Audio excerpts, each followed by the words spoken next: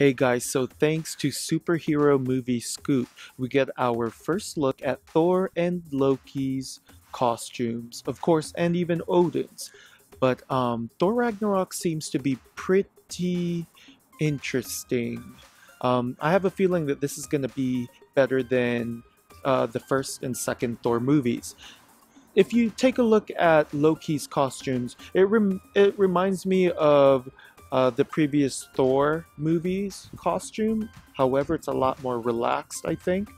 Um, and as far as Thor's costume, it looks battle ready, but like in a way like a poor man's battle suit. I okay, so you, you know how usually Thor's costume is very shiny and epic looking. Um, this one looks like he just came off of a planet full of warriors and he's just going to fight his way through everyone that he can think of.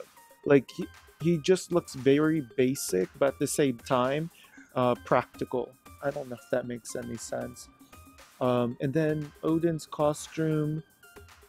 Okay, so previous set photos showed him on the streets of New York looking like a beggar, like a poor man, like a um, a homeless person.